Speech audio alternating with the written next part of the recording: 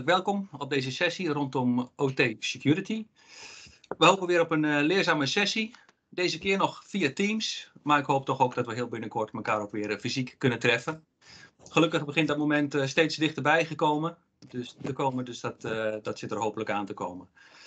Um, nou, het, het, onderwerp leeft ook binnen onze vereniging. We hebben ook vanavond 225 aanmeldingen gekregen. Ik zie iedereen langzaam binnendruppelen op dit moment.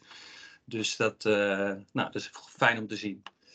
Um, we gaan het hebben over OT security, beveiliging van operationele technologie. Het is al een tijd een relevant onderwerp geweest en we zien ook het afgelopen weken weer veelvuldig voorbij komen in het nieuws. Onder andere richting de dreiging vanuit Rusland richting de Oekraïne bijvoorbeeld. Europese terminals kwamen vorige week nog in het nieuws. Uh, incident van enige tijd terug, Colonial Pipeline, uh, et cetera. Dus ja, het blijft hartstikke relevant.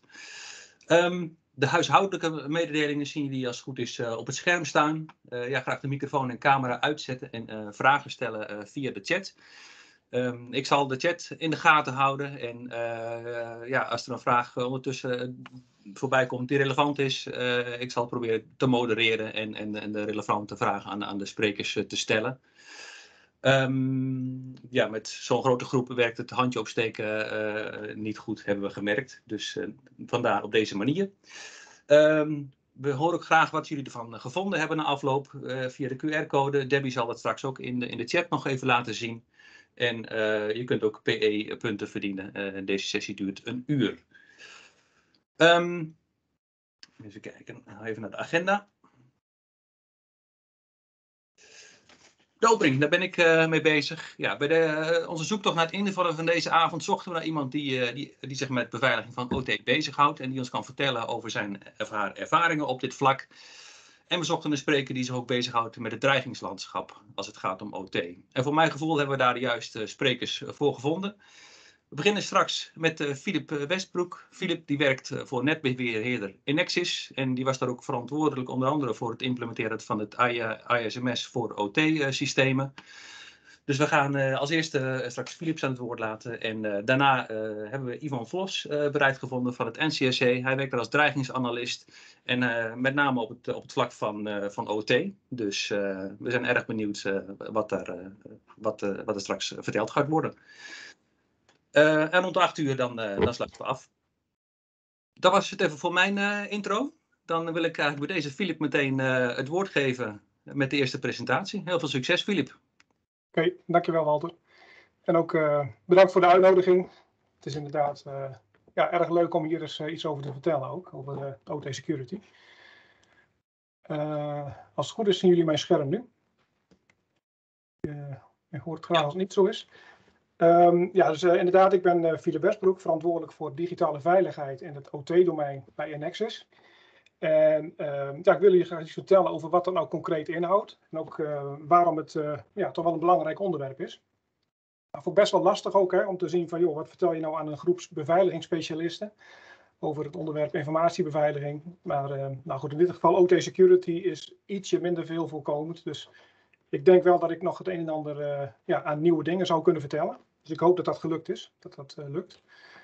Um, ik wil in ieder geval graag beginnen met een, een kort overzicht van de verschillen tussen informatietechnologie, wat eigenlijk iedereen wel weet, en de beveiliging daarvan, en operationele technologie. Dus informatietechnologie gaat eigenlijk in het algemeen over uh, data en informatiestromen. Uh, en operationele techniek gaat over de aansturing van een fysiek proces, een productieproces of een, in het geval van Enexis een energienetwerk. Uh, en dat wordt ook wel eens procesautomatisering of industrial control systems genoemd. Maar dat is uh, eigenlijk een, een, belangrijk verschil tussen IT en OT. Ehm, de belangrijkste risico's bij IT zijn over het algemeen ja, vertrouwelijkheid, integriteit of beschikbaarheid van data. Dus die kan worden gecompromitteerd. Dat probeer je over het algemeen te voorkomen met beveiliging. Bij OT heb je nou, eigenlijk met name de persoonlijke veiligheid die het belangrijkste is. Dus als OT-systemen niet goed werken, en met name ook safety-systemen, waar ik dadelijk wel op kom, ja, dan uh, heb je het ook over hele andere risico's en ook productieverlies. En dat uh, zie je ook terug in de prioriteit als het gaat over de BIF-classificatie. Dus beschikbaarheid, integriteit en vertrouwelijkheid. CIA in het Engels. Dus de prioriteit bij informatietechnologie ligt over het algemeen bij vertrouwelijkheid. dus je wilt niet dat uh, klantgegevens of persoonlijke gegevens uh, beschikbaar zijn voor onbevoegde personen. Bij OT-systemen is het over het algemeen de beschikbaarheid die het belangrijkste is. dus als een OT-systeem niet werkt, dan ja, kan het uh, ook hele grote gevolgen hebben. Meer dan de vertrouwelijkheid. Um, en als laatste ook um, uh, OT-systemen. Uh, daar wordt best wel veel legacy apparatuur gebruikt. Hè, dus apparatuur die niet helemaal up-to-date is. Heeft heel veel redenen, waaronder uh, het feit dat patching best wel lastig is. Hè. Je wilt downtime vermijden. En bij IT heb je het over het algemeen over hele up-to-date systemen. Hè. Dus uiteraard niet altijd, maar meestal wel. Daar is het ook makkelijker om ehm, systemen up-to-date te houden.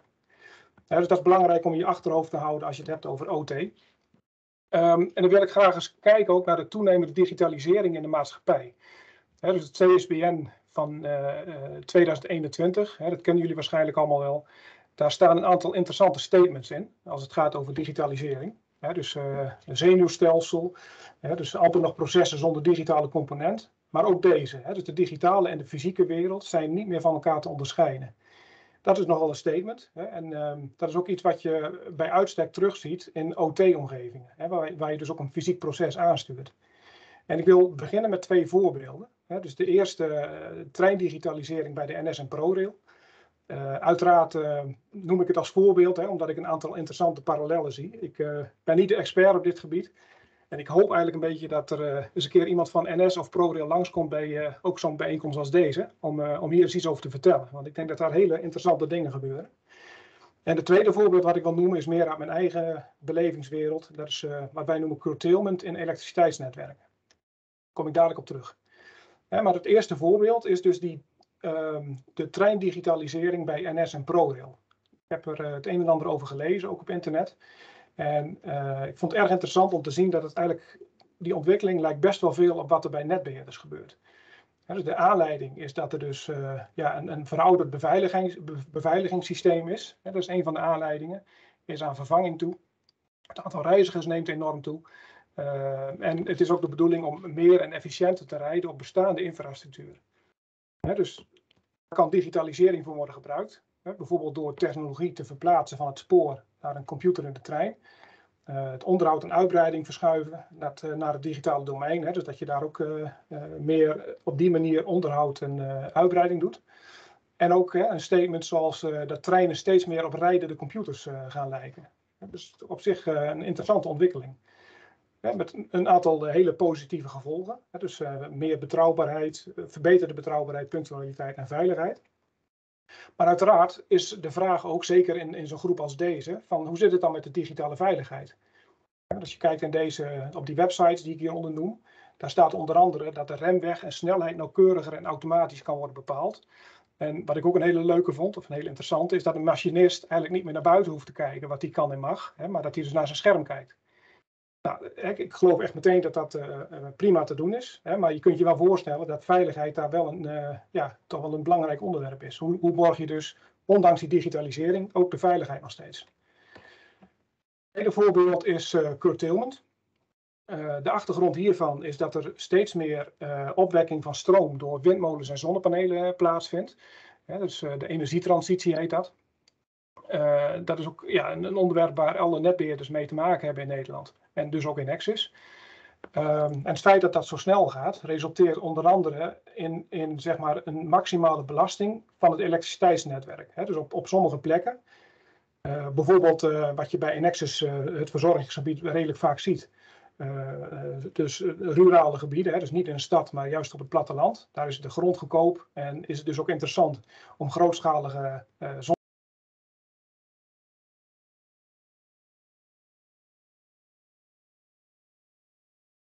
Jouw microfoon staat uit. Ja. Uh...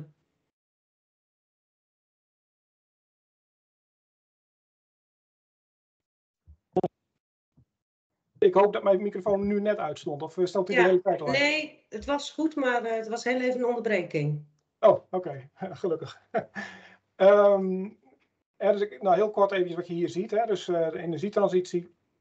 Uh, het elektriciteitsnetwerk loopt vol en uh, we moeten dus vaak nee verkopen richting partijen die een uh, zonnepark willen aansluiten. Nou, uiteraard willen we dat niet, hè, maar als het niet anders kan, dan doen we dat. Maar ehm, eh, digitalisering biedt voor ons dus ook kansen, hè, voor een netbeheerder. Kijken, ja. Dus de digitalisering houdt in dat wij ook continu, nog meer dan we anders al doen, het elektriciteitsnetwerk monitoren en met name de belasting daarvan. En zodra er overbelasting dreigt in een bepaald gebied, waar dus een, de maximumcapaciteit bereikt is, dan gaan wij uh, zonne- en windparken aansturen om tijdelijk minder energie te leveren. dus dat zie je in dit plaatje terug. dus die witte pieken, die, uh, ja, die, die, die draaien we dan terug. Dus dat wordt uh, afgetopt, zoals het wel eens heet. En via een datacomverbinding wordt er dan een stuursignaal naar zo'n zonnepark gestuurd van joh, eventjes tijdelijk terugschalen. Je mag nog steeds leveren, maar niet op je maximumcapaciteit, zodat anderen ook ruimte krijgen. En het gevolg daarvan is dat wij ja, ongeveer 30% meer capaciteit aan duurzame opwek kunnen aansluiten. En dat is op zich heel prettig. Dus dat soort grote partijen hoeven niet te wachten op, uh, op de capaciteitsuitbreiding, wat echt jaren duurt. Maar zo hebben we dus voor een kortere te, termijn ook een oplossing. Maar ook hier is natuurlijk de vraag, hoe zit het met digitale veiligheid? Dus als een onbevoegd persoon toegang krijgt tot dit soort stuursignalen, dus die uh, dingen kan sturen, en dan heel snel bijvoorbeeld het, een groot zonnepark aan- en uitzet, dan heeft dat nogal wat consequenties voor de stabiliteit van de energievoorziening dus je wil dat dat echt heel goed beveiligd is. Um, dus ja, en het interessante vond ik ook, als je die twee voorbeelden naast elkaar zet, dat uh, ja, eigenlijk zowel dat voorbeeld van de trein als het voorbeeld van het elektriciteitsnetwerk, dat je zorgt voor eigenlijk een efficiëntere inzet van bestaande fysieke infrastructuur uh, en daarmee dus ook ja, eigenlijk maatschappelijke besparingen realiseert. Hè, dus dat betekent dat ze eigenlijk ook niet helemaal te vermijden zijn. Hè. Dat, soms wordt er wel eens gedacht van, joh, die digitalisering is dat allemaal wel nodig. Je introduceert nieuwe risico's. Nou, dat klopt, hè, maar je moet eigenlijk altijd op zoek gaan naar die balans tussen aan de ene kant uh, besparing, functionaliteit en aan de andere kant ook digitale veiligheid. Dat is op zich uh, prima te doen. En een andere overeenkomst is dat je dus behoorlijk vervelende consequenties zou kunnen hebben op het moment dat je digitale veiligheid niet goed regelt. Nou, een vraagje. Hè?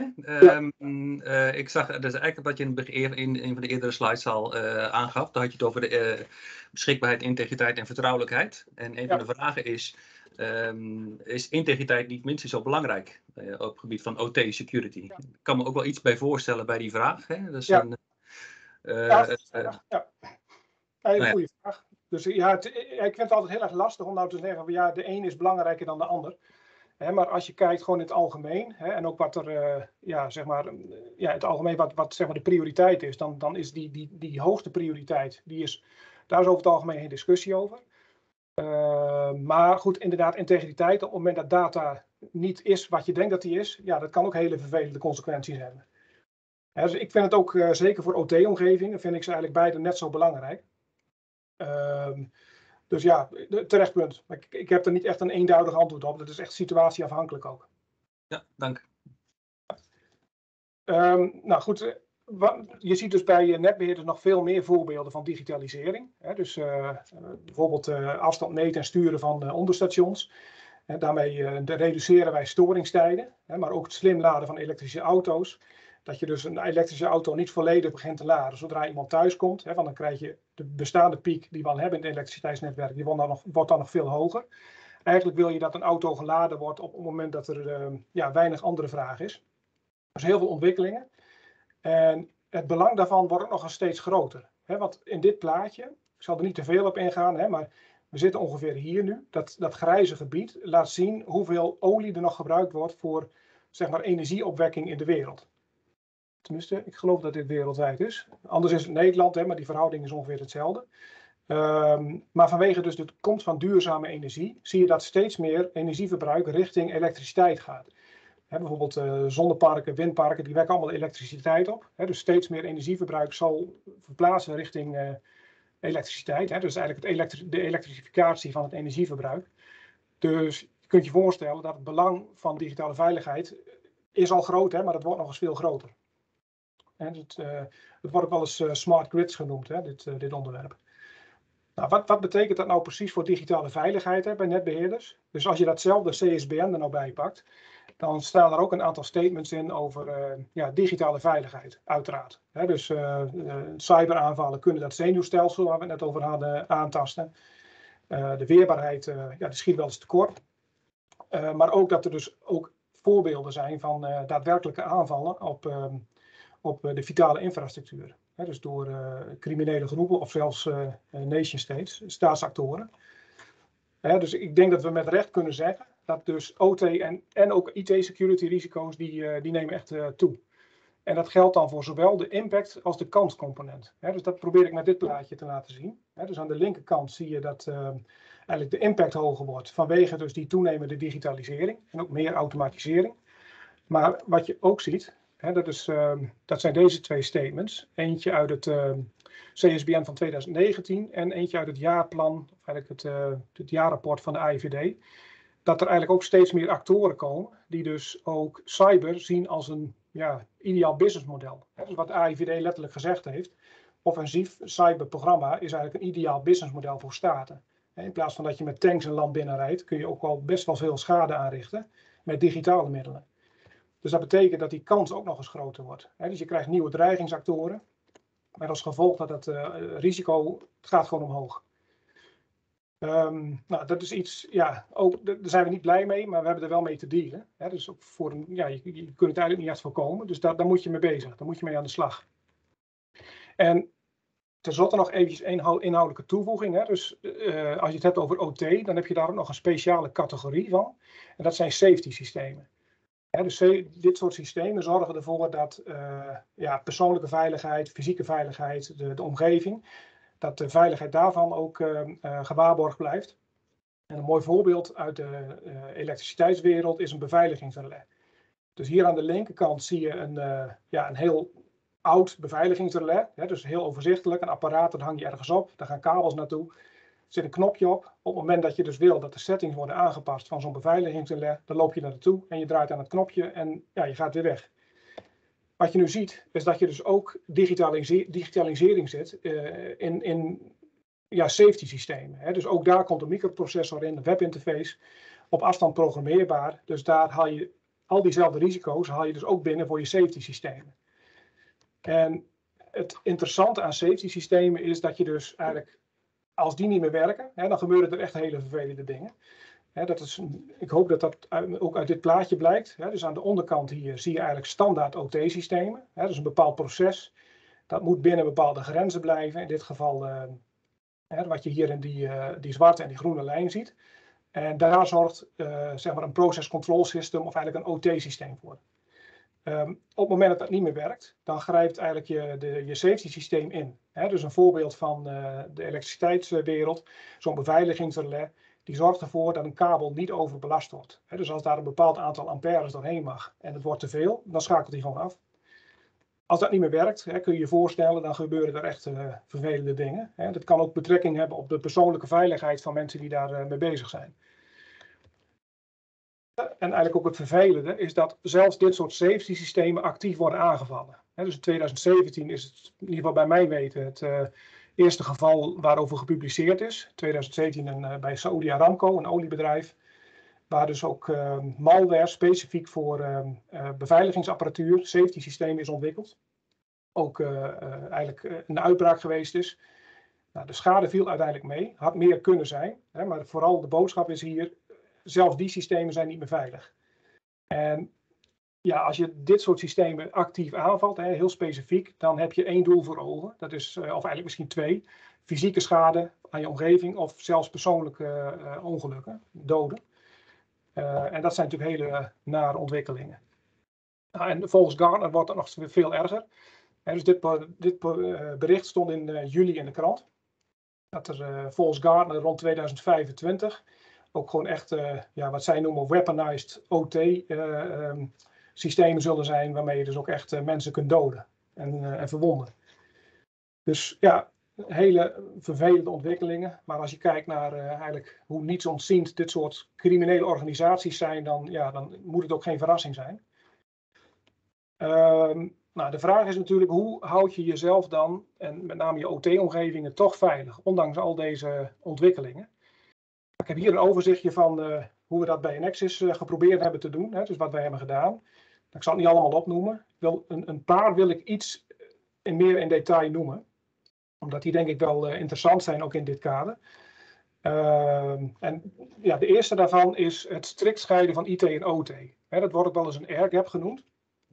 dus uh, geen connectie tussen het OT-systeem en de buitenwereld. Maar in de praktijk is dat heel erg lastig. Kijk, het wordt wel eens gezegd, hè, en het is ook uh, eigenlijk elke omgeving die iets met OT doet, daar is dit wel een regel, hè, scheiding van, uh, van de rest van van de buitenwereld. Alleen om dat volledig te doen, dat is bijna onmogelijk. Ik vond dit artikel vond ik, uh, eigenlijk wel heel erg leuk. Gebruik ik wel in heel veel presentaties. want je kunt wel zeggen van joh, ik ben volledig gescheiden van het, van het IT-netwerk bijvoorbeeld. Maar in de praktijk is dat dus niet, waarschijnlijk niet zo. dat zag je dus zelfs in het ISS, waar dus ook virussen binnenkwamen. Een, een, betere airgap kun je eigenlijk niet uh, bedenken tussen de ISS en de rest van de wereld. En zelfs daar zie je dus virussen. Nou, hier nog een uh, interessant filmpje op YouTube. Hè, moet je maar eens een keer uh, opzoeken. Jullie krijgen de presentatie trouwens nog. Hè, maar dus die links die kun je allemaal nog nazoeken. Hè, maar hier was een hoorzitting in de VS. Ook over de veiligheid van de, de vitale infrastructuur. En daar werd ook een heel duidelijk statement gemaakt. Zo'n onderzoekscommissie die dus al heel veel OT-omgevingen geoordeeld heeft en bekeken heeft, zegt van joh, wij zien nooit een omgeving, een OT-omgeving die daadwerkelijk gescheiden is van, uh, van de buitenwereld. Dus ook dit bewijst dat het echt uh, eigenlijk onmogelijk is om, het, om dat ook echt volledig te scheiden. En uiteraard is het wel mogelijk, maar ja, met binnen bepaalde kaders en als je er echt heel veel geld aan besteedt. Maar praktisch gezien is dat uh, erg lastig. Zeker ook gezien die digitalisering die ik eerder noemde. Hè. Dus er is gewoon behoefte aan data die dus in dat OT-domein gegenereerd wordt en het IT-domein wordt gebruikt om daar slimme dingen mee te doen. Nou, dus je hebt daar aanvullende maatregelen nodig. Nou, dat is bijvoorbeeld hè, dat je awareness uh, uh, heel goed uitvoert. Dus maak je collega's bewust van de risico's. Bijvoorbeeld gescheiden IT- en OT-werkplekken. Iemand die werkzaamheden uitvoert binnen het OT-domein, die moet daar een andere laptop voor gebruiken dan alle andere werkzaamheden. En uiteraard ook afspraken rondom uh, verwijderbare media. Um, nou, wat wij ook heel belangrijk vinden is dat je één risicomanagementproces hebt. Dat doen wij op basis van bowties. dus dat hadden we al. We hadden al uh, risicomanagement uh, volgens dit proces. Daar hebben we dus digitaal OT-security risicomanagement ook aan toegevoegd. En dat, dat werkt erg prettig. Dus iedereen snapt op het moment dat je een bowtie laat zien binnen ons bedrijf. Nou, hoe, hoe lees je nou zo'n bowtie? Wat is nou het risico? En welke maatregelen heb je? Je hoeft niet elke keer die vertaalslag te maken van een specifiek digitaal of informatiebeveiligingsmethodiek naar de standaardmethodiek. Dus iedereen snapt dit onderwerp. Um, hè, maar we hebben dus wel de, de IEC 62443 gebruikt voor het kiezen van de maatregelen dus als je nou zo'n bowtie bekijkt, aan de linkerkant staan dan preventieve maatregelen. bijvoorbeeld uh, social engineering, dus een bedreiging social engineering. Welke maatregelen heb je daarvoor? Nou, awareness training. Uh, nou, hier nog een aantal andere voorbeelden. Hetzelfde ook voor de herstelmaatregelen. dus uh, rechts in de bowtie. ook daar heeft dus de 62443 een aantal ja, adviezen voor. Die standaard, dus die kun je ook heel goed gebruiken voor het kiezen van maatregelen. En ja, dit is hoe wij uh, ook ja, uh, gekozen hebben voor het mitigeren van de OT-security risico's.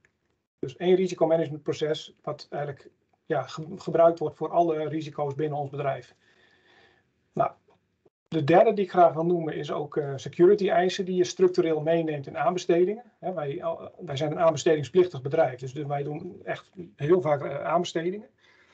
Soms zou ik willen zeggen helaas, hè, want het kost echt heel veel, heel veel tijd. Het is heel veel werk, maar uh, ja, het moet. En het, uh, het, proces hebben we inmiddels aardig onder controle. Um, maar sinds, ik denk 2014, stellen wij ook structureel eisen aan alle apparatuur die het OT-domein binnenkomt op het gebied van security. En niet alleen aan het product zelf, hè, maar ook aan de ontwikkel- en de supportprocessen bij de leverancier. Ook daar gebruiken we de 62443. Uh, hetzelfde aan het product zelf uiteraard. Uh, en daar werken we heel intensief samen met het European Network for Cybersecurity. Dus een uh, non-profit organisatie die uh, netbeheerders in heel Europa helpt, ook bij digitale veiligheid in het, het OT-domein. Nou, we zien dat dat echt fors verbeterd is. Hè. Vooral ook omdat alle leveranciers zien dus dezelfde eisen terugkomen in heel Europa. Hè. Dus dat helpt echt bij het veiliger maken van, van OT-componenten. Uh, nou, dit plaatje laat zien, heel, heel kort eventjes, uh, uh, een voorbeeld uit een tender. waarbij wij dus de TCO, hè, dus de totale content, hebben afgezet tegen de security compliance van die leveranciers. Nou, je ziet ook dat de, de goedkoopste leverancier, die had uiteindelijk ook gewoon 100% security compliance. Hè, dus dit is ook anekdotisch bewijs in ieder geval dat het zeker niet altijd voor hogere prijzen zorgt, betere veiligheid. En uiteraard uh, awareness. Dus we hebben heel veel tijd aan uh, awareness besteed op heel veel verschillende manieren.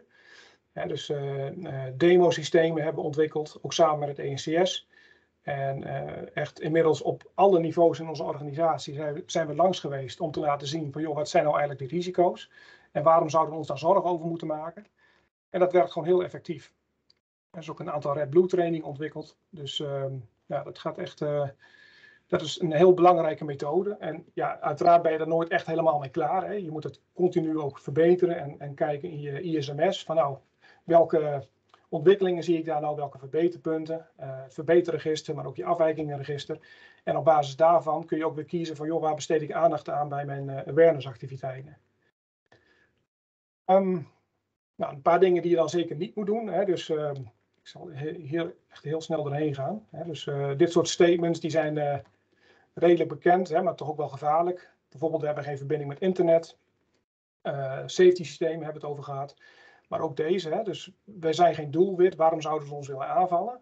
Um, nou, zelfs als dat zo is, dan heeft ook WannaCry en NotPetya in 2017 wel laten zien dat, ehm, ja, dat je dus ook wel degelijk uh, ja, geraakt kunt worden door een aanval. al, al, is het maar dat je dus collateral damage bent. Dus gewoon eigenlijk een bijvangst van zo'n uh, campagne richting in dit geval Oekraïne. Nou, en ook deze is gevaarlijk. Hè? Dat hoor je ook nog steeds wel eens. Dat hackers geen verstand hebben van OT-systemen. Nou, dat is, dat is, tegenwoordig echt niet meer het geval. dus je ziet uh, malware en ransomware die specifiek ontwikkeld is ook voor OT-omgevingen. bijvoorbeeld Black Energy, Indestroyer. Uh, dus die, ja, die zijn tegenwoordig ook makkelijk verkrijgbaar. Nou, en wat ook interessant is om te zien, is dat vroeger had je OT-systemen, wat je hier aan de linkerkant ziet, die heel erg specifiek waren ontwikkeld voor een bepaalde klant, voor een bepaalde situatie.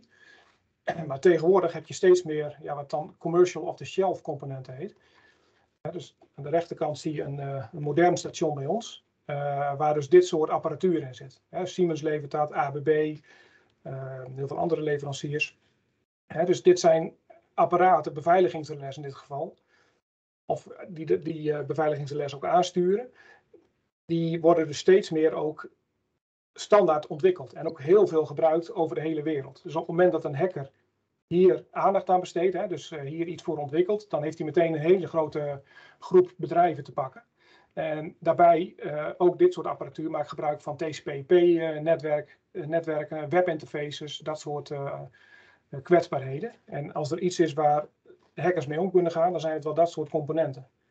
Dus dat is ook belangrijk om je te realiseren dat hackers wel degelijk of al verstand hebben van OT-omgevingen, of de complexiteit wordt uit handen genomen door standaard tooltjes of door ja, dit soort commercial off-the-shelf apparatuur. En het staat natuurlijk uiteraard helemaal los van de kwaliteit van die apparatuur, hè, want die is, gewoon, uh, die is echt heel goed. Alleen uh, een feit is het dat er dus uh, ja, standaard componenten worden gebruikt waar hackers mee, goed mee om kunnen gaan.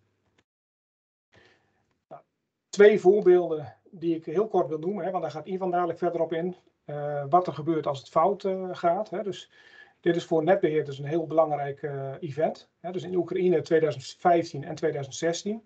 Dat er voor het eerst actief netbeheerders zijn aangevallen. Met ook forse impact. Uh, misschien wel eens iets van gehoord. En ook deze aanval, hè, net als heel veel andere aanvallen op OT-omgevingen, die beginnen vaak in het IT-domein. In dit geval was het een mailtje zogenaamd van de toezichthouder met een rekenmodel in Excel. Ja, die, uh, uh, zodra je die opende, had dus de, de hacker de eerste voet binnen de deur. Nou, dat is iets, uh, ja, daar gaat Ivan dadelijk wel verder op in. En tenslotte natuurlijk nog de Colonial Pipeline, uh, mei vorig jaar. Hebben jullie vast ook al over gehoord. Eigenlijk niet echt een OT-aanval, want in principe waren alleen de IT-systemen geraakt. Maar ja, Colonial Pipeline heeft er zelf voor gekozen ook om de levering te stoppen. Omdat er geen facturen konden worden gestuurd. Dus maar goed, het is denk ik wel een goed voorbeeld van een eh, OT-impact uh, eh, door een aanval door een criminele partij. Um, ja, dit was mijn verhaal. Dan geef ik hem graag door aan Ivan. En... Ik, ik heb nog even een momentje, hebt, Filip. Uh, ja, ja, zeker. We zijn inderdaad uh, precies op, om half, maar we pakken even een paar minuutjes nog, want ik zal nog een paar vragen voorbij komen die interessant zijn. Eén um, vraag inderdaad, uh, heeft Inexis een, een separate Security Operations Center voor OT of is dat gecombineerd met, met IT? En hoe zit dat met uh, SIEM, met security monitoring op, op dat vlak? Is, is dat ja, goede vraag. Dat is een, een heel belangrijk iets. Hè. Dus wij, uh, wij hebben nu zowel een IT als een OT-SOC. maar daarnaast hebben we dus ook een managed SOC, waarmee wij dus ook een, ja, een uitgebreidere dienstverlening implementeren. Met uiteindelijk ook op de roadmap het doel om uiteindelijk één SOC te gaan hebben. Dus er wordt nu al heel veel samengewerkt. Het is eigenlijk heel onlogisch om twee aparte SOCs te hebben. Dus dat, uiteindelijk groeit dat wel naar elkaar toe. Ja, op zich is het ook wel logisch. Ja, die aanvallen wat je net zag met die office macro's en zo. Ja, dat begint natuurlijk in je IT. En dat slaat over op je OT als je niet, niet ja, oppast. Ja. Dus uh, ja, dat moet inderdaad samen. Ja. Uh, er was nog één andere vraag voorbij gekomen. Als jullie nog mee hebben gedaan, een vorige sessie van ons die ging over uh, EasyDoor, grote cyberoefening uh, ja. die is gedaan. Dus, hebben jullie er ook aan mee kunnen doen? Ja, ja zeker. Ja, en, de, en de keer daarvoor ook, 2017 geloof ik. Oh, leuk. Dus, ik weet niet precies wanneer die was, maar de laatste twee keer hebben we zeker meegedaan. Ja. Want ja, daar was een hele belangrijke OT-component ja. ook. Ja, nou leuk. Ja, dat, dat, is ook heel interessant en belangrijk om te doen. Ja, ja. oké. Okay. Goed, hartstikke bedankt voor je, ja. voor je verhaal. Dan uh, wil ik inderdaad even door, doorpassen naar Ivan. Ja, dankjewel. Ik ga proberen een uh, scherm te delen. Ja, ik, ik, zie dat Guido zijn camera ook nog aan heeft, maar op zich hebben de, de deelnemers de camera over het algemeen uit. Ja, dus laat, me, laat me weten als jullie uh, het scherm kunnen, kunnen zien. Um, en laat me ook vooral weten uh, als het scherm uh, of als de presentatie iets uh, achterloopt. Ik kan altijd mijn camera uitzetten. wellicht dat hij dan iets, iets beter, ja. beter meegaat. Um, nou goed, zoals in de introductie al is verteld, ga ik jullie vandaag wat meer vertellen over het dreigingslandschap met betrekking tot OT. Um, ik kijk daar onder andere naar uh, binnen mijn rol uh, bij het NCSC als dreigingsanalist. Um, ik kijk daar naar uh, incidenten, um, aanvallen in Nederland, maar ook daarbuiten. daarbij kijk ik naar de actoren die erachter zitten. Ik kijk naar modus operandi en ik kijk ook naar de bredere context waarin deze aanvallen plaatsvinden. Um, en van dat uh, geheel probeer ik een, uh, een dreigingslandschap uh, te, te, schetsen. Dus dat is ook wat ik vandaag ga proberen te doen op het gebied van, van OT. Um, als ik door kan naar de volgende slide.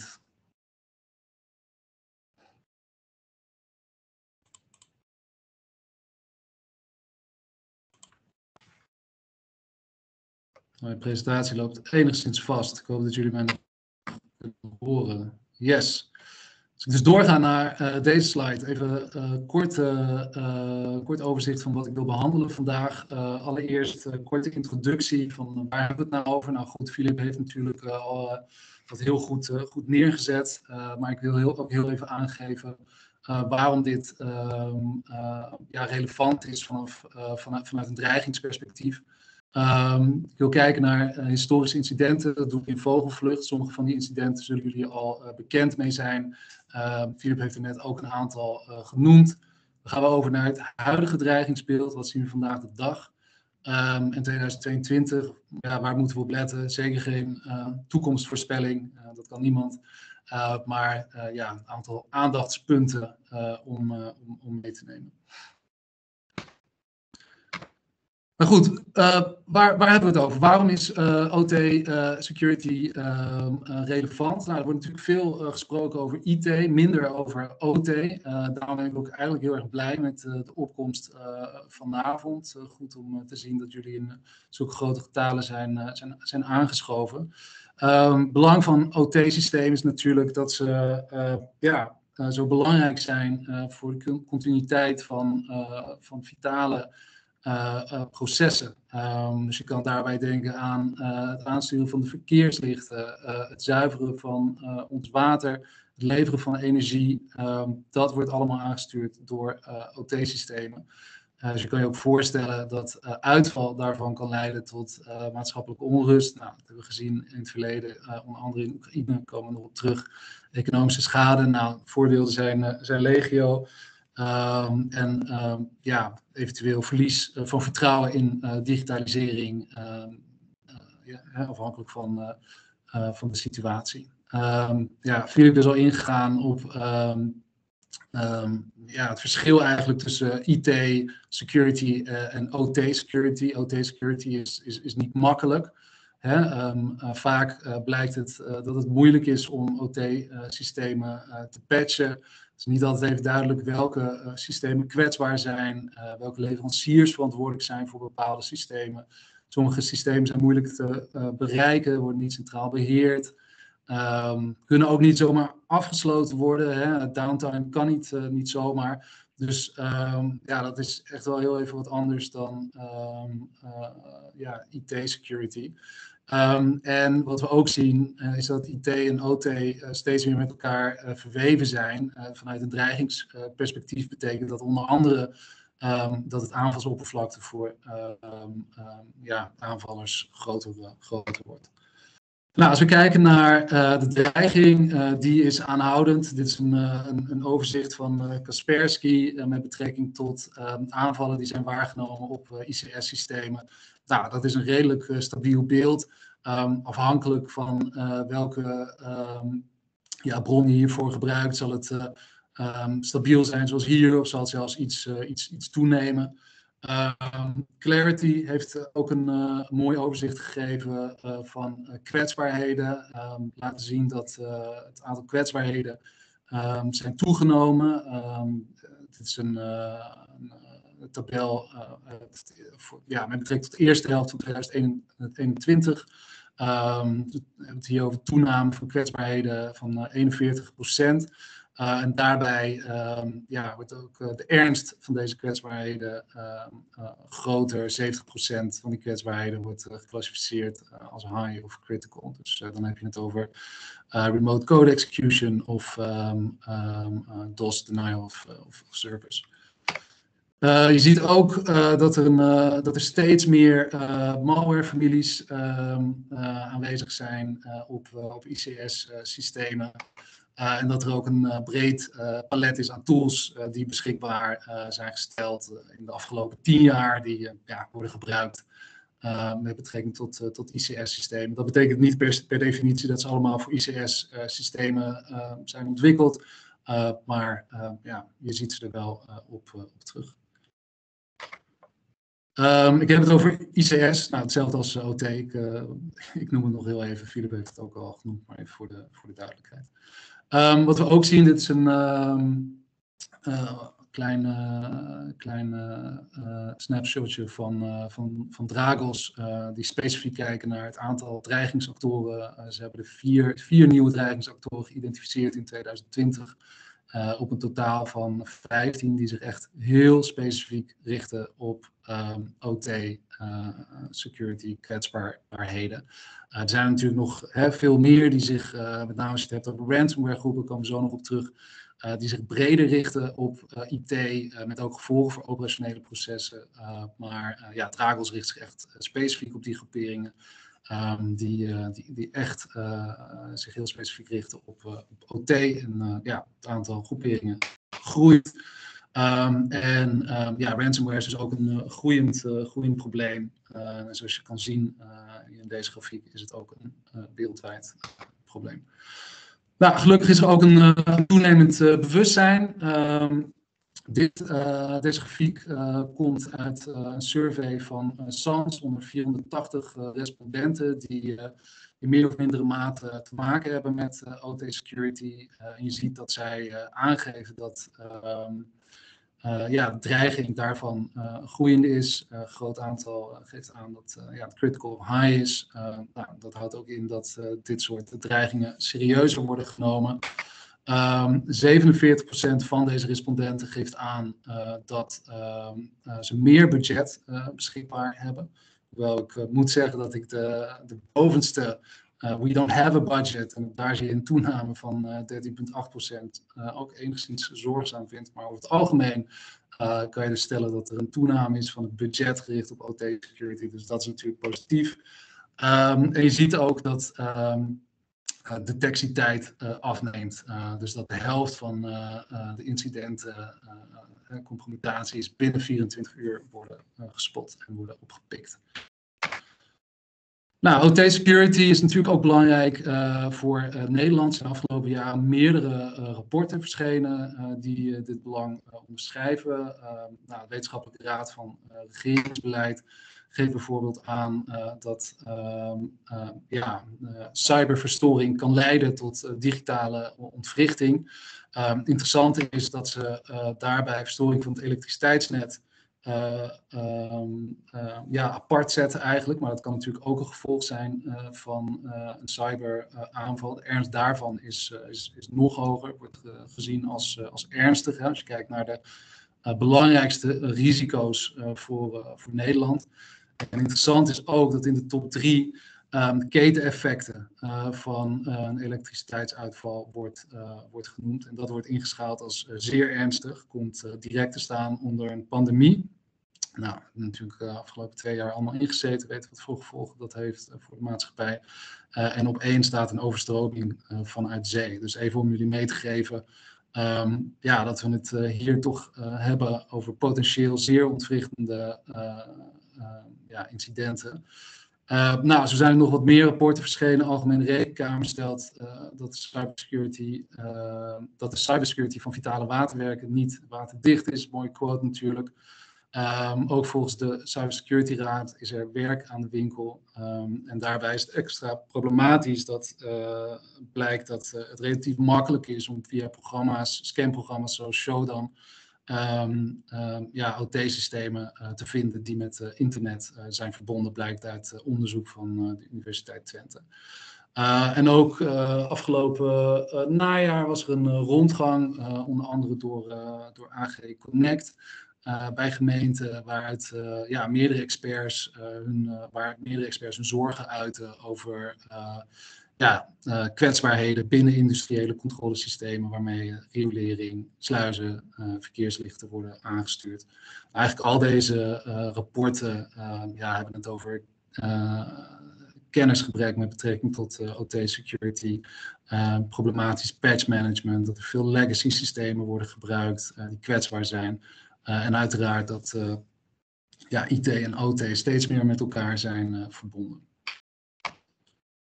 Nou, historische incidenten. Ik neem jullie even heel ver mee, mee terug. sommigen van jullie zullen nu denken van, gaan, we, gaan we helemaal terug tot en met 2007, Stuxnet. Heel kort.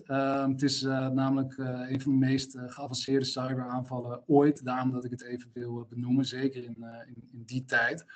Um, het is ook uh, uh, ja, malware die echt specifiek is uh, ontwikkeld en zich richt op OT-systemen.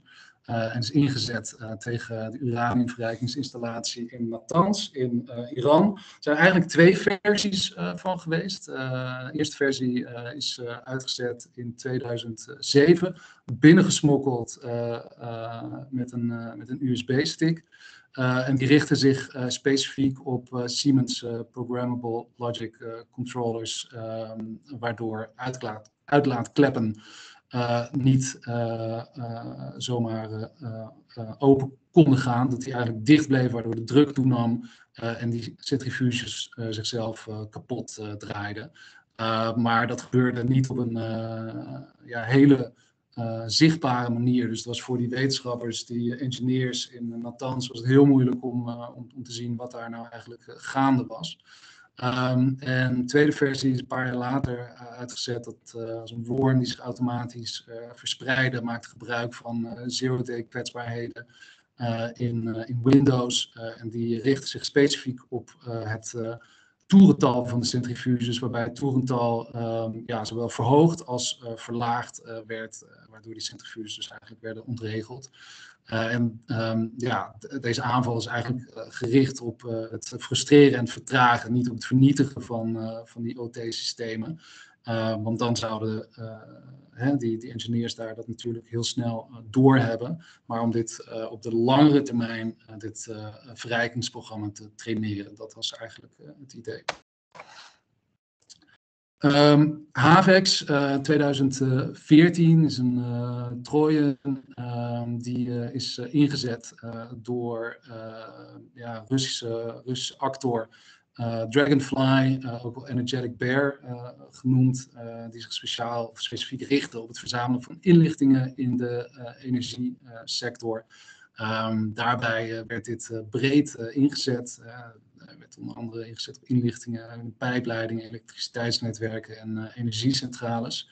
En het interessante is uh, dat deze aanval eigenlijk binnenkwam via een update van ICS software.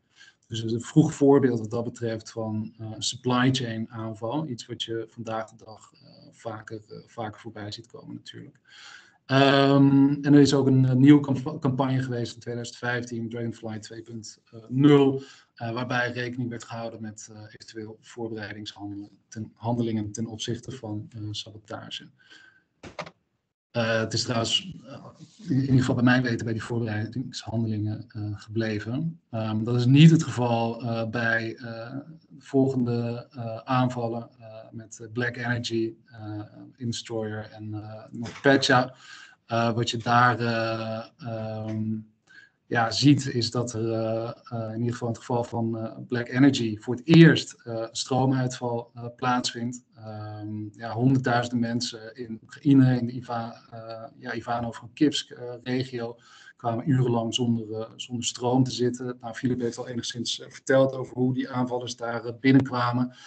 die maakten gebruik van macrofuncties in een MS Word of uh, MS Excel uh, bestand dat binnen werd gehaald door, door spearfishing.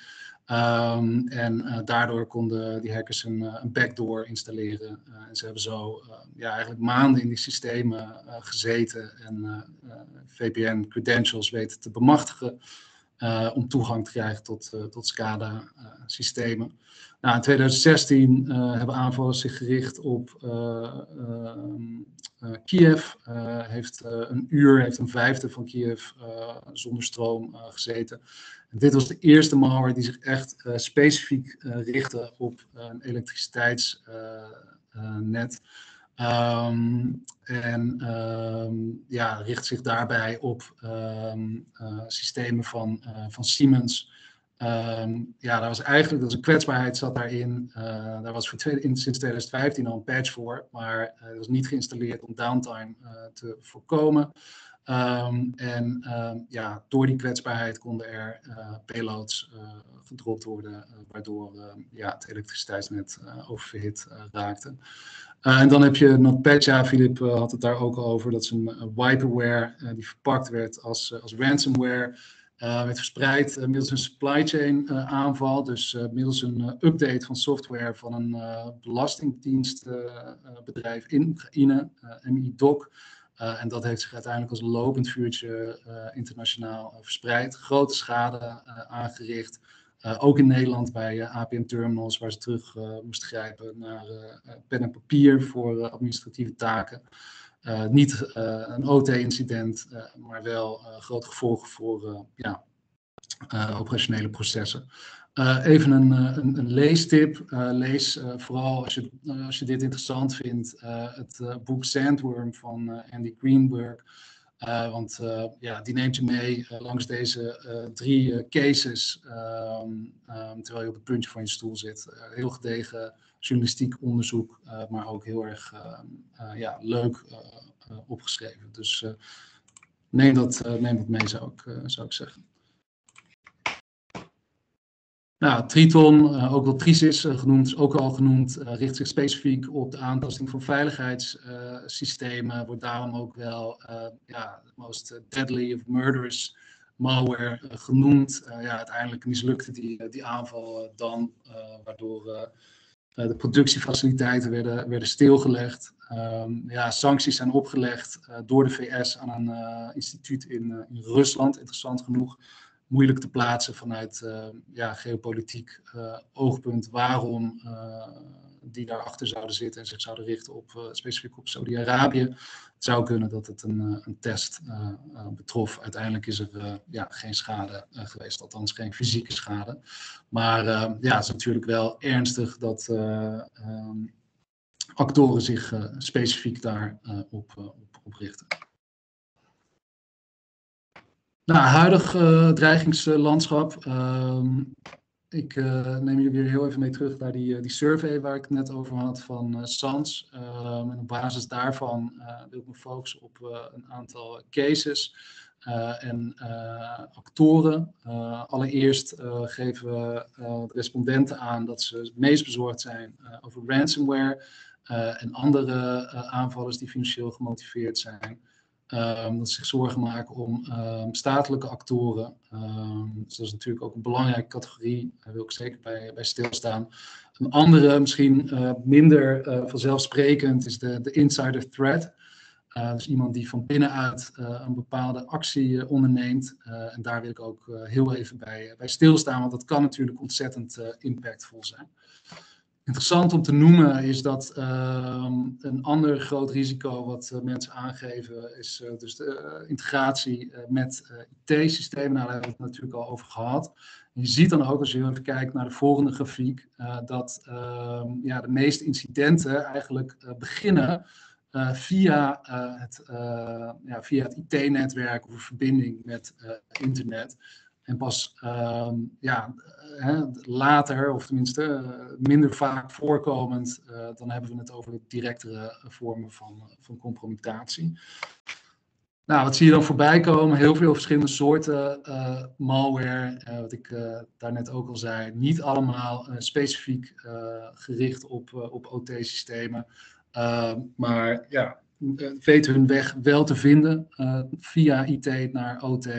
Eh, en dat kan natuurlijk ook eh, hele vervelende gevolgen hebben als dat eh, ja, je zicht verstoort op processen of het, het moeilijker maakt om processen te, te beheren. Even een vraagje. Ivan, nou, begin heel... Die ik voorbij ja. gekomen. Um, de vraag is, hoeveel malware en ransomware schat je in is, is echt nieuw? En welk percentage is een upgrade vanuit een, een voorgaand product? Heb je daar enig beeld bij?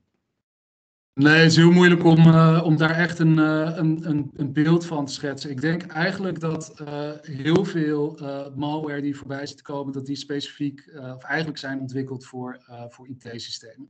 En dat er um, weinig malware, of relatief weinig, hè, vergeleken met de malware die bestaat voor IT-systemen, is ontwikkeld die echt puur gericht zijn op het ontwrichten van OT-systemen. Vandaar ook dat ik die um, historische voorbeelden aanhaal, uh, omdat uh, ja, er dus uh, maar een hand, handvol voorbeelden zijn van echte pure aanvallen op OT-systemen die gebruik maken van malware die daar op, op zijn, zijn ingericht. Maar ja, heel moeilijk om, om, om percentages of cijfers te geven. En zijn dat, zijn dat dan misschien ook weer de nation-state-achtige aanvallen? Ja, dat zie, je, dat zie je vaak wel. Daar ga ik nu ook even op, uh, op in, inderdaad. Uh, en uh, hè, als je kijkt naar die historische aanvallen, dan ja, zitten daar ook inderdaad statelijke actoren achter. Die hebben natuurlijk de, de capaciteiten om daar echt in te, te, te, investeren, maar ook bijvoorbeeld langere tijd in systemen te blijven hangen om um, ja, helemaal uit te pluizen eigenlijk hoe die, hoe die functioneren. Um, ja, dat, dat, dat, dat, dat kan niet uh, zomaar elke actor. Je ziet natuurlijk wel dat er ook uh, zeer geavanceerde uh, ransomware actoren zijn. maar daar komen we zo op en die richten zich eigenlijk meer op IT-systemen ja, met operationele gevolgen. Beantwoordt dat de vraag? Ja hoor, dankjewel. Yes, top. Um, nou, dan ga ik heel verder met uh, statelijke actoren. Ik hou de tijd in de gaten. Um, nou, het uh, cybersecurity beeld uh, Nederland van ja, afgelopen jaren blijkt dat digitale dreiging permanent is. Sabotage wordt daar genoemd, is een van de belangrijkste dreigingen. Hè, natuurlijk omdat die risico's heel erg, heel erg groot zijn. Um, en in het verleden zijn er ook voorbereidende handelingen waargenomen met betrekking tot OT-systemen. Um, maar ja, de intentie ontbreekt op dit moment om, daadwerkelijk over te gaan tot sabotage. Want dat, dat is nog wel een stap hè, natuurlijk die je als actor uh, zou nemen. Zelfs als attributie moeilijk is. Um, ja, is het natuurlijk de vraag van, vanuit het oogpunt van de statelijke actor waarom je in Nederland over zou gaan tot, tot, tot sabotage. Dat betekent niet dat je er geen rekening mee moet, moet, moet, moet houden. Hè? Helemaal met het oog op oplopende geopolitieke spanningen. Maar tot nu toe is die intentie niet, niet, niet gezien. Um, nou, er zijn wel een aantal landen, China, Iran, Rusland, die beschikken over een uh, offensief cyberprogramma. Dat blijkt uit het dreigingsbeeld statelijke actoren van de IVD. en ja, die beschikken natuurlijk over een breed palet aan, aan middelen om bepaalde aanvallen uit te voeren. Um, we weten ook vanuit dit dreigingsbeeld dat Rusland structureel toegang probeert te krijgen tot essentiële en vitale infrastructuur van, van bondgenoten. Uh, dus dat kan uh, Nederlandse belangen uh, raken. We hebben in het verleden gezien dat Rusland hè, op de juiste capaciteiten beschikt. Ik heb een aantal voorbeelden genoemd, onder andere in Oekraïne. Um, en wat ik net ook al zei, het is natuurlijk belangrijk om rekening te houden met mogelijke veranderende intentie ten tijde van escalatie. We zien natuurlijk spanningen die oplopen in Oekraïne. Um, ja, we hebben een defacement eh, aanval eh, gezien, waarbij websites, eh, overheidswebsites offline gingen, werden beklad. Um, en de dag daarop werd er ook, een, werd er ook vanuit Microsoft melding gemaakt van uh, wiperware, die zou zijn geïnstalleerd bij verschillende organisaties. Precieze impact is onduidelijk, maar wat we wel weten is dat het in ieder geval geen worm betreft, zoals bij NotPetya. Dus dat het niet iets is wat zich automatisch verder verspreidt. en daarbij ook ja, nevenschade kan, kan aanrichten. Um, nou, de Wit-Russische cyberpartizanen wilde ik ook even noemen, want die hebben zich specifiek gericht op de spoorwegen in, in Wit-Rusland. Um, ook op de IT-systemen. dus ze hebben het over ja, servers die, die onklaar zijn gemaakt. Um,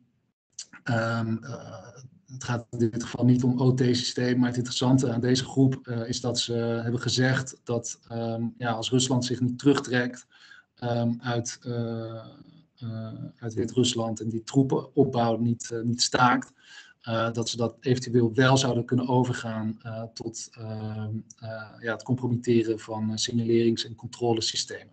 Of ze daar capaciteiten, know-how voor hebben, dat is natuurlijk maar de vraag. Maar het is in ieder geval een interessant statement en iets om in de gaten te houden.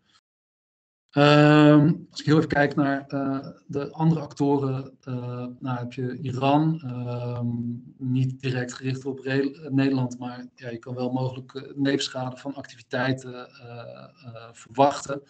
hun aanvallen passen binnen een geopolitieke context, dus richten zich met name op de regio, op Iran, op Saudi-Arabië op, en op Israël. Um, en wat we hebben gezien uh, is dat ze bijvoorbeeld in 2020 verkenningen hebben uitgevoerd uh, binnen scheepsvaart en olie- en gassector. ze hebben toegang weten te krijgen tot een human machine interface binnen drinkwatervoorziening, ehm, processen in, in, in Israël. Uh, en recent was er ook een aanval op Iran, niet duidelijk waar die vandaan kwam, uh, waarbij uh, een subsidieprogramma gelinkt aan, aan benzine bij tankstations werd, werd aangevallen. Dat klinkt niet zo serieus, maar dat was het wel, want volgens mij waren alle 3.000 tot 4.000 tankstations daardoor geraakt, waardoor mensen geen subsidie kregen op benzine die ze uh, die ze ja, gingen tanken bij de tankstations. Uh, en in het verleden heeft dat uh, tot hele serieuze protesten met dodelijke gevolgen geleid. Dus um, is, ja, was ook een behoorlijk serieuze, serieuze aanval. in China um, ja, is het vooral, denk ik, belangrijk om te, te, benoemen dat er afhankelijkheid is ten opzichte van Chinese technologie. En AFD heeft daarvoor gewaarschuwd. Um, dat dat uh, ja, niet, uh, niet altijd uh, wenselijk is, afhankelijk van hoe kritiek bepaalde processen en systemen zijn. Ga door naar criminele organisaties. Um, nou, we hebben het al gehad over criminele actoren. Ik zal er iets sneller doorheen gaan. We hebben nog een paar minuten. Um, is uh, onlangs in 2020 uh, is uh, Ecans ransomware is, ehm, ja, bekend of actief geworden, of misschien zelfs wel in 2019. Um, en deze ransomware is eigenlijk net als andere ransomware vormen, uh, maar heeft ook een specifieke killlist van OT-processen die die afwerkt. en daarbij is het, of daardoor is het een unieke ransomware vorm. Hij zou zijn ingezet uh, te, tegen Honda uh, en Enel, maar de precieze impact daarvan is onduidelijk. Wat ik zelf opvallend vind, uh, is dat het eigenlijk vrij stil is omtrent e-kans sinds 2020. Um, en de vraag is in ieder geval vanuit het perspectief van um, een criminele organisatie, of het wel noodzakelijk altijd is om um, echt OT-processen te, te, te ontwrichten, of dat het ontwrichten van IT-processen al uh, genoeg uh, is. Uh, er zijn heel veel voorbeelden te geven natuurlijk de afgelopen paar jaar. En het is dan ook niet voor niets dat CSBN echt waarschuwt voor ransomware en het ziet een risico voor nationale veiligheid. Ik ga er even vogelvlucht doorheen, de cases met het, met het oog op de tijd. Met het oog op de tijd.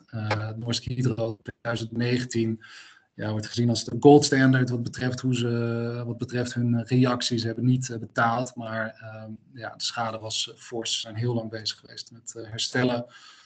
Ehm, de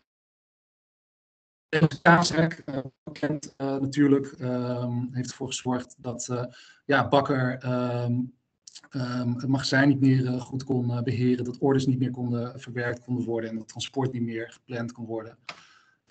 Pipeline, Philip uh, noemde het net ook al, richt zich op betalingssystemen, maar uiteindelijk ja, heeft die hele pijpleiding vijf dagen stilgelegen. En dat is de belangrijkste toevoer van olie en gas voor heel Oost-Amerika. Dus hele, ja, veel, ja, heeft natuurlijk veel schade op, opgeleverd. CBS, ander voorbeeld. Um, en recentelijk nog de terminals in Duitsland, België en Nederland. Insider threat um, noemde ik uh, aan het begin. Um, is belangrijk omdat ja, als je, je moet je mensen intern natuurlijk goed kunnen vertrouwen. Ook mensen die misschien al zijn vertrokken, um, maar misschien nog gevoelige of wachtwoorden hebben of toegang hebben tot gevoelige systemen. Um, in Oldsmar heeft dat tot een hele gevaarlijke situatie geleid, waarbij iemand van buitenaf heeft geprobeerd de watervoorziening te vergiftigen. Nou, het vermoeden is dat dat iemand is die of daar heeft gewerkt, of bij, de, bij dat waterzuiveringsinstalatiebedrijf, um, of daar nog steeds werkt. Waarschijnlijk het, het eerste. Het is een vermoeden hoor, is niet bevestigd, maar ik wil even, even noemen. Nou, waar moeten we op letten? 2022. Nou, de ransomware aanvallen. Het, is, uh, het jaar is, is, is weer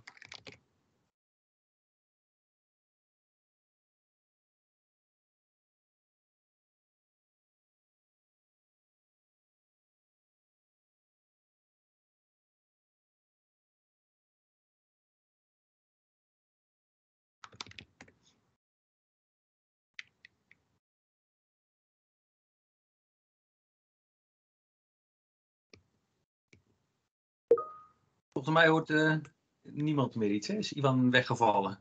Ja, ik zie het. Um, ik probeer even contact te leggen, een moment. Uh, wettelijke consequenties aan verbonden kunnen zitten.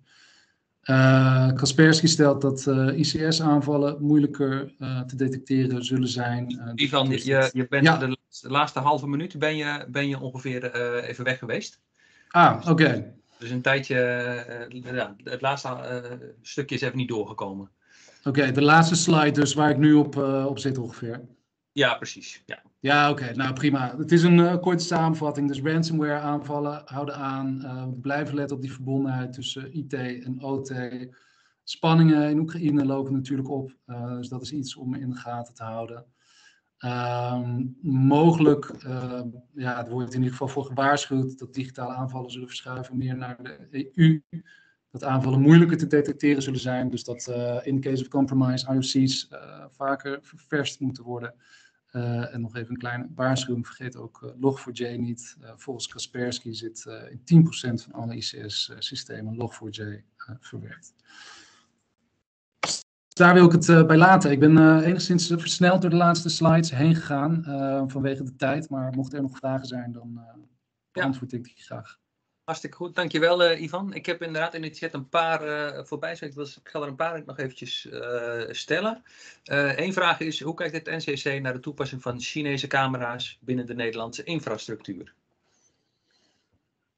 Ja, dat is een uh, onderwerp waar ik, uh, waar ik zelf niet uh, direct naar, naar kijk. Maar ik kan me zo voorstellen, hè, op basis van rapporten die in het verleden zijn verschenen, waarschuwingen die zijn afgegeven, dat, ehm, ehm, ja, dat daar toch ehm, enige voorzichtigheid nodig is. met name vanwege ja, toch ook spionagecapaciteiten vanuit, vanuit China. Ja, Um, en de laatste vraag die ik nog eventjes uh, wil stellen uh, van Frans Jansen. Um, het wordt al een tijdje gezegd, OT moet veiliger. Wordt die veiliger en wat is eigenlijk de belangrijkste bottleneck om verder te beveiligen? Nou, we hebben er heel veel aangekaart. Uh, ja. Zowel Filip als ik. Dus misschien dat Filip ook nog, nog andere ideeën heeft. Uh, ik denk dat het begint bij, uh, bij bewustwording. Uh, dus nogmaals, ja, goed dat we vandaag over OT-security praten. Dat er ja, meer mensen zich ermee bezighouden. Dat er meer geld voor beschikbaar wordt. en dat daar ja, binnen industriële processen ook meer aandacht voor is. Ja, of het verbetert is moeilijk, moeilijk te zeggen. Maar er is in ieder geval bewustwording. Ja, Filip, ik weet niet uh, vanuit jouw uh, oogpunt of jij hier nog uh, een. nee, helemaal mee eens. Hè. Dus inderdaad bewustwording en, en ook oefenen met, met crisissituaties. Hè. Zoals, zo, zoiets als Isidor is echt heel erg belangrijk en interessant om te doen. Ja. ja. Misschien toch nog, ja, ik zie, nu komt er nog van alles voorbij. En we hebben nog, misschien nog wel even een paar, een paar minuutjes. Dan, dan ronden we het af voor. Um, de, en de laatste vraag die ik nog zie is, uh, hoe actief is het Westen in aanvallen richting eh, China en Rusland? Hè? We horen wel uh, van die kant, onze kant op, maar hoe werkt het vice versa? Ja, dat is een hele goede vraag. Um, en um, dat is natuurlijk iets wat ligt bij, bij de inlichtingendiensten en niet bij het, bij het NCSC. Ja. Dus daar kan ik niet op ingaan. Moeten we de NCSC van Rusland even bellen? Omdat, uh... ja, bijvoorbeeld. dus, uh, en nog één uh, allerlaatste nog. Um, er, er, is al log voor je ransomware zoals Night Sky for Horizon. Ik ken het niet. Ja. Heb jij er iets over gehoord al? Uh, ja, dat, er is inderdaad uh, ransomware die is ontwikkeld voor specifieke applicaties. volgens mij niet alleen Night Sky, ik heb ook een aantal andere voorbij horen komen. Ehm, zover ik weet niet, heeft, heeft dat geen OT-component. maar het geeft wel aan dat ehm, ja, die aanvallen gerichter worden. en zich dus inderdaad specifiek focussen op, op bepaalde applicaties. Um, dus ja, Log4j, we verwachten natuurlijk uh, hè, in december allemaal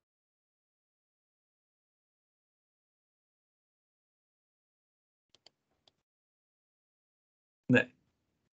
Dat gebeurt, maar dat betekent niet um, dat het afskiest van, uh, van actoren. Dat is wel iets wat we moeten verwachten. Oké. Okay. Je viel een tijdje weg, maar uh, ik, ik, denk, ik denk dat we hem even moeten, moeten afronden nu. Ik, ik wil jullie allebei um, enorm bedanken. En uh, ik hoop dat we jullie gewoon uh, weer in, in de levende lijf eens een keertje mogen zien bij een van de bijeenkomsten. En, Zeker. Uh, ik zie heel veel klaphandjes, dus volgens mij hebben de, de mensen er ook veel van geleerd en van genoten. Dus hartelijk dank. Ook aan alle deelnemers. Bedankt voor het meedoen en hopelijk tot snel. Een fijne avond. Oké, okay, dank jullie wel.